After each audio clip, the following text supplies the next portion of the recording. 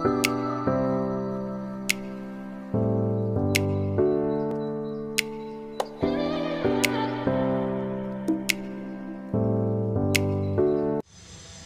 guys! Welcome to my channel and welcome back to my channel sa mga friends ko. So guys, uh, how's your day? Kumusta? How's your holiday?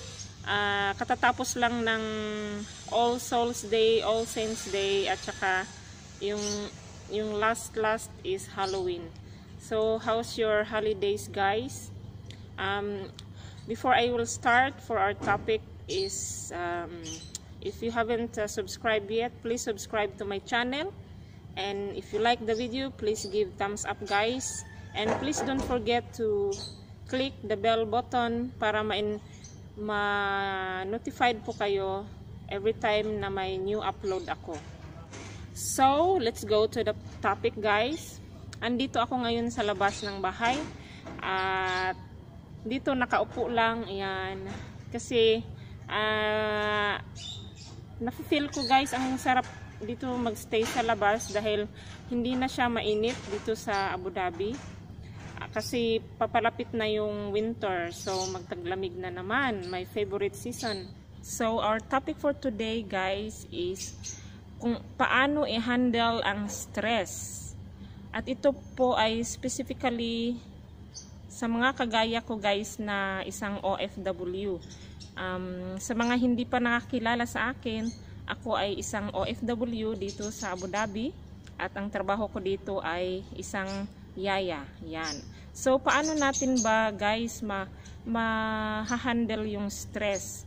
Dahil alam niyo po, um, lalo na sa amin na nagtatrabaho sa loob ng bahay, kasama mo yung mga amo mo na yan, kasama mo sila buong araw. Yun, makasalamuha mo sila at um, maraming stress na nangyayari guys na nagaganap lalo na sa mga bata na makukulit um, hindi naman lahat na mga bata ay ano yung hyper kulit pero mostly sa kanila dito guys na mga bata dito sa Middle East ay makukulit talaga pero nature lang yun ng mga bata paano ba i-handle yung stress Um, disclaimer guys, ito po ay lahat na opinion ko lamang at uh, it's according sa na-experience ko po.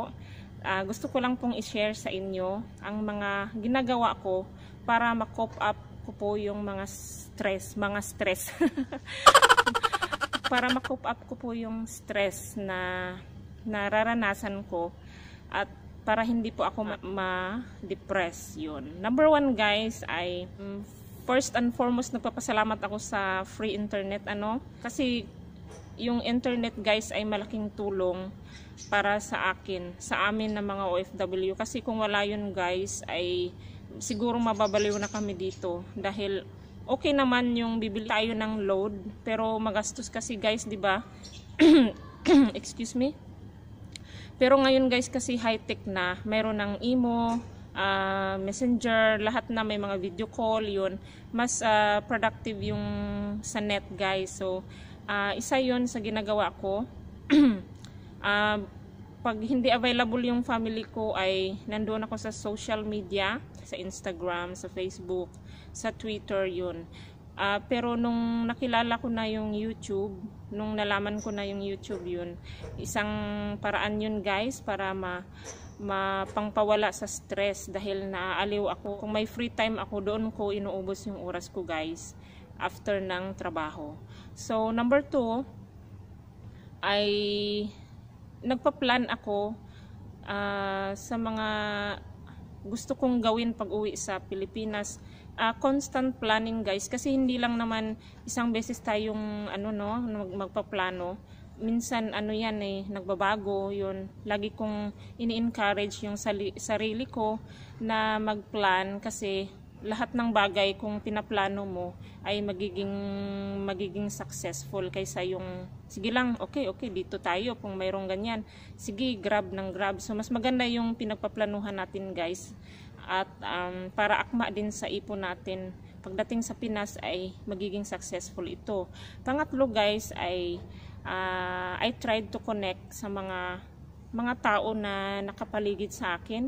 Hindi ako nagmumukmok na parang sinasarili ko lang. If may problema ako guys, ay tinatry kong lapitan ang mga kasama ko dito sa sa trabaho. At um, kung malaking problema na talaga, hindi hindi ako nag-aatubili na lapitan yung amo ko na kausapin sila, mag-open ako. Baka meron silang magandang i-advise sa akin na hindi ko alam, 'di ba guys? So, magandang makipag makipag uh, social tayo, makipag-usap tayo sa mga tao na personal nating nakikita. Hindi lamang sa kasi iba talaga yung impact din guys kung kung kausap mo yung nasa ibayo, no? So, mas maganda yung kaharap mo yung tao, makausap mo at magbigay ng magandang advice kasi sila mismo nakakita sa iyo ang sitwasyon mo dito sa bahay, di ba? Um, and fourth guys is ayun, pag lumabas kami, yun yung stress ko, hindi ko na siya um, dinidibdib, hindi ko hindi ko hinayaan na magstay sa sa sarili ko at ang ginagawa ko guys ay naging positive na lang ako sa sarili ko at um, yun paglabas guys ay nagvi-video video ako yun nagba-vlog so yun isa rin yun guys na nagpapawala sa stress ko. Um, hinto muna tayo guys kasi parang nag-ano na sila ito nag-adan guys. So respect lang muna. Mamaya nang mamaya guys i-continue ko So, yun guys, yun yung pang fourth. Yan, nag-vlog ako at alam naman ng amo ko na isang YouTuber ako. So, naintindi, naintindihan nila tuwing naglalakad kami, nag-iikot-ikot sa mall ay um, nasa huli ako nag-video. So, isa din yun guys na pang iwas ko sa stress or pampabawas sa stress. Uh, pang lima guys is um, humahanap ako ng paraan, nagdi-DIY ako mga arts arts or magdi-decor sa bahay or kung ano-anong mga DIY guys isa rin yun sa uh, nakakapagpabawas ng stress sa atin. So sa mga mahihilig mag DIYs uh, ah, marami dyan nabibili na mga items na pwede nating pagbisihan guys kung kung gusto naman natin kakaiba naman hindi lang YouTube ng YouTube ano? So uh, pang sa, pang ilan na tayo guys? Pang pang anim na yata. Yan pang anim guys ay reading. Yun reading books. Uh, isa rin yun guys ay nakakapagpabawas ng uh, nakapagpatanggal ng stress na magbabasa tayo para maiba naman yung uh, focus ng isip natin mapunta naman sa isang story ng books or mga mga uh, encouraging na mga mga libro guys. Um, yun isang isang paraan din yun yung reading books. Yun guys uh, pang-anim na yun guys. So Marami pang mga bagay guys na hindi ko mabanggit lahat kasi sa kadami-dami ano. Kung mayroon kayong pang pandagdag pa guys na mga tips, uh, paki-comment lang sa baba para ma-share din natin sa iba guys. So ang last din ang last na pinaka the best guys is ang ginagawa ko ay nagpe-pray yan. Um, isang napaka number one yun guys at ito yung pinakalas na binanggit ko kasi ito yung uh, pinakamahalaga para uh, sa mga nanonood ay mag ay tatatak sa utak nila. So, uh, madali lang naman sabihin guys na ayun ma um, yun magpray tayo, maging malapit sa Panginoon pero um, kung gustuhin natin guys ay ay kaya naman natin. So, maging malapit tayo sa Panginoon at magbabasa ng Bible. Yun ang pinaka the best guys na pangpawala sa stress natin, 'di ba? Dahil sa uh, sa Bible pa lang yung mga mga messages doon guys ay very encouraging lahat. So, kung i-apply natin sa buhay natin yun guys ay mas maging productive tayo at uh, maging uh, magkaroon ng dagdag na pasensya at uh, more na love sa ah, trabaho natin at sa employer natin, 'di ba guys? So magiging maayos lalo ang ating pagtatrabaho dito hanggang matapos tayo sa kontrata. So ah, saludo ako sa mga OFW na nasa ibang bansa na nag na pinagpalit ang kanilang ah, freedom para ma, ah, ma- makapag makikita lang ng malaki dito sa iba yung dagat. So, yun guys ay um, So guys, kung may bala kayong ah, mag-abroad guys at um, ang napili nyong trabaho ay dito sa loob ng bahay, yun isa yun sa mga tips ko sa inyo guys para ma- mapaghandaan ninyo ang ang homesick dito sa abroad guys. Kaya dapat tayong maging malakas at um, huwag nating pabayaan din ang ating sarili guys. Mahalin natin yung sarili natin kasi yun lang puhunan natin lalo na yung health natin guys. So, um, sa uulitin guys, ah, hindi pa nakapag-subscribe, ah, mag-subscribe na kayo guys at um, ito ang channel ni Shirley Pilais about buhay ng isang OFW. And uh, don't forget to click the notification bell para ma-inform kayo or ma-notified kayo pag may new videos ako. So maraming salamat sa panonood guys. See you on my next video. Bye! Ano yan? Simi, What is that guys? Simi, uh, this one? Yeah, it's a jet plane I think. It's not an airplane. This one, he's gonna get snow, and then Oh, nice. Look at here. It's all smoke here. Big smoke. Look. Wow, hello. he's making big eye. It's not an eye, it's a smoke. Make a smoke. Yeah. Really smoke. Hello, sa?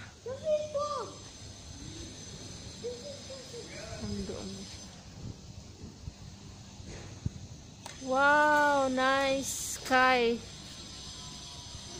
It's uh, 5 o'clock in the afternoon now in UAE. Look at it's uh, winter is coming. It's it's not hot anymore. Ayan guys, ulit. Winter is coming, kaya ganyan. Winters. Yeah. Winter is coming, that's why it's not hot. This no, no, the, no, not the snow coming. We don't have snow here in UAE. The snow will come. Only cold, not snow now. Ayan, lumaki na siya oh. Pawala na yung usok. Yung... Lalabas ako guys. Kasi mag-ano na. Ayun may flag oh. UAE. Kasi magsa-sunset na siya. Kaya tingnan natin yung araw dito sa Ayan oh. Eh, sunset. The sun come down. Yeah, we will wait. The sun will go down there. The sun will come on the sun. He's sun. He's taban. It's not Taban, Habibi. Sun. He's gonna come. Uh, It will, sun come on the down. yeah. Look at that. If like that, we will see very Sun clearly. Is, sun is We will warm. see sun. Sun is warm. Sun is hot, Habibi.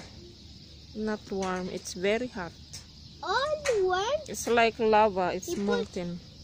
Huh? It's more like lava. It's very hot. Um, this is like water normal. Yeah. Hmm? Huh? Hmm? It's like normal. It's water.